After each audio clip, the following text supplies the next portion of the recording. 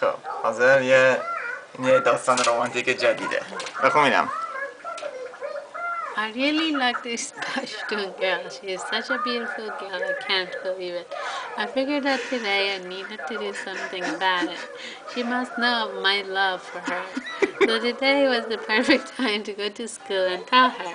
I waited until mathematics because I knew that she is in the same class as me in the mathematics.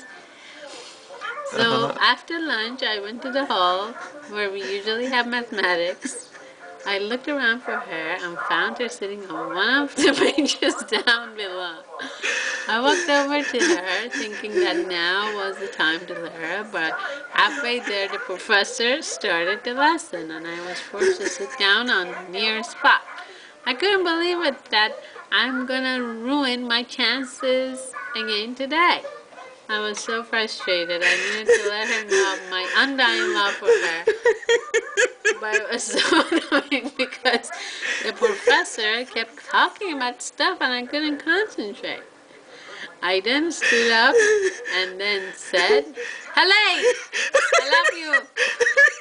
It will be an honor to go on a date with you. and my professor had stopped talking and everybody in the hall was staring at me. And then they stared at her.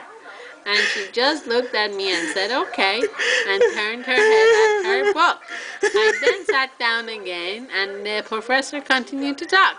But then later that day at a hallway, this stupid Persian boy named Alsak came up to me and said, listen, Ahmadi, Nijad boy, you better stay away from her. You understand me?